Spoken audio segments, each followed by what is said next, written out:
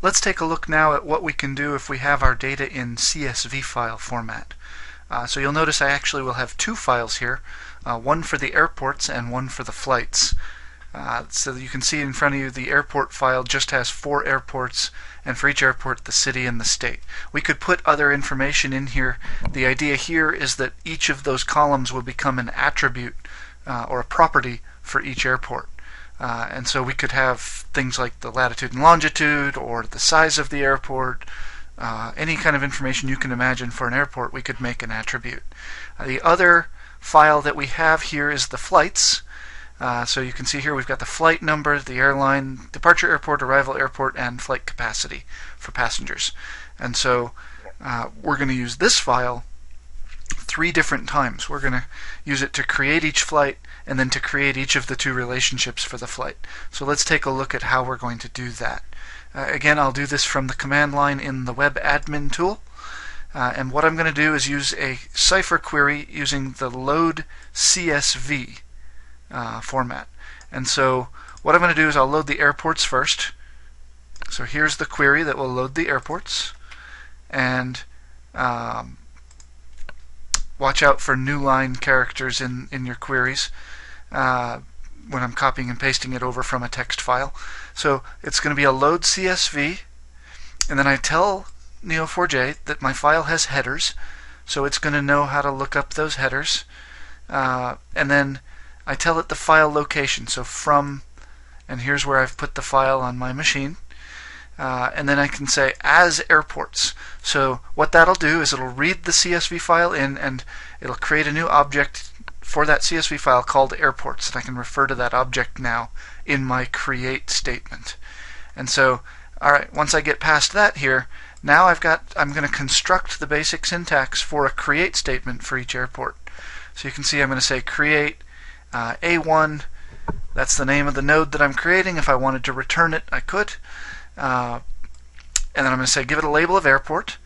And then again, just like before, we're going to have three properties.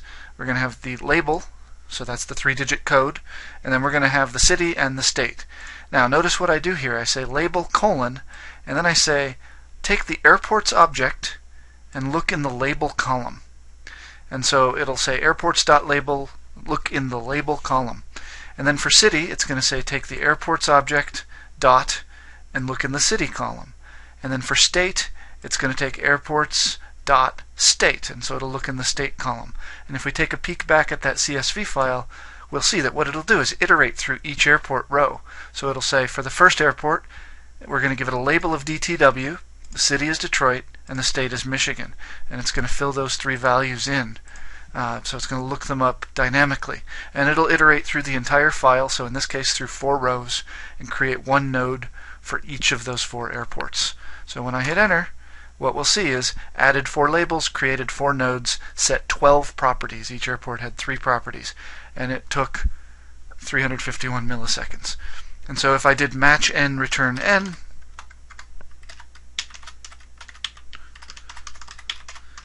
we should see four nodes. And sure enough, there they are. Uh, all four airports were created in one query. Now, uh, we've got the airports.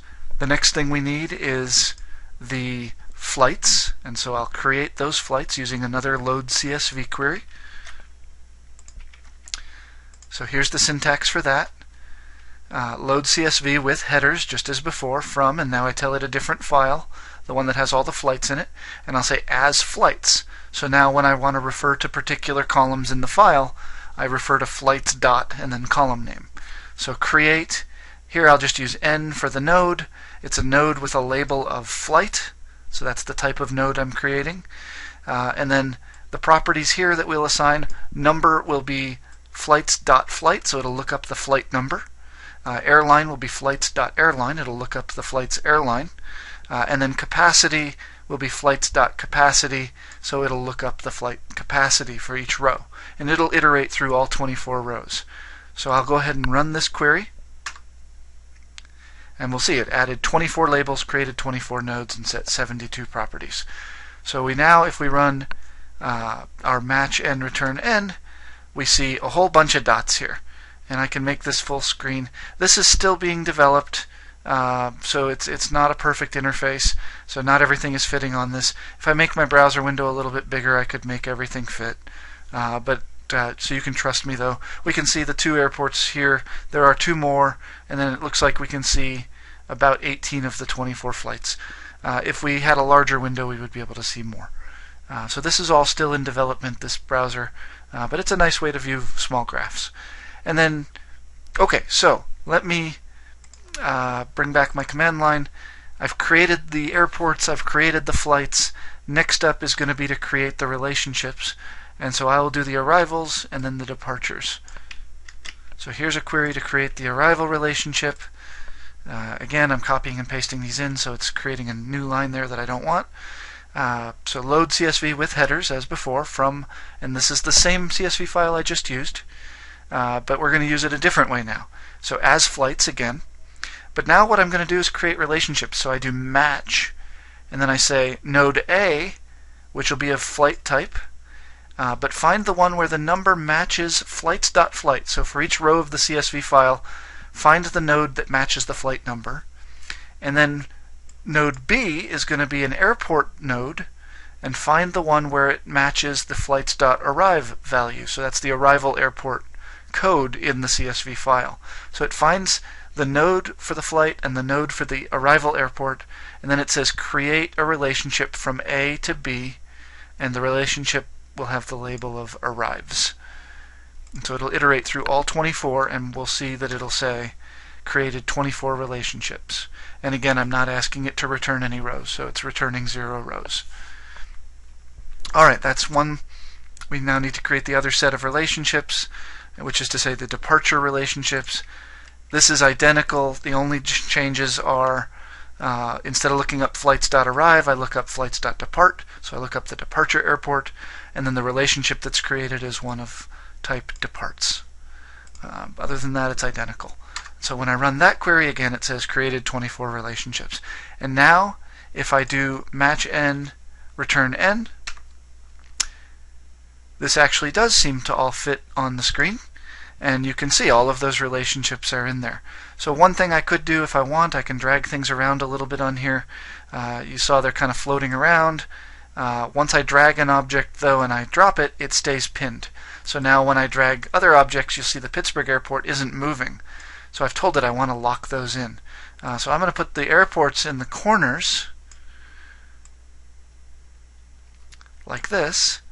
Uh, and now I can very clearly see which flights go which way. Uh, the only other thing that's a little bit trickier to visualize is arrival versus departure for each flight. So again, I could drag these up and down a little bit to clarify that. So I can see now very clearly Flight 45 departs Boston and arrives in Pittsburgh. Flight 46 departs Pittsburgh, arrives in Boston. Uh, I could do that for all of the different flights if I want to. So here I'll do Detroit to Pittsburgh and vice versa, for instance. And that just lets me visualize it a little bit more clearly. Uh, so you can see we've got all 24 of our flights in now, uh, and we've got uh, all four airports and all of the relationships have been established. So this data set is now complete in our database.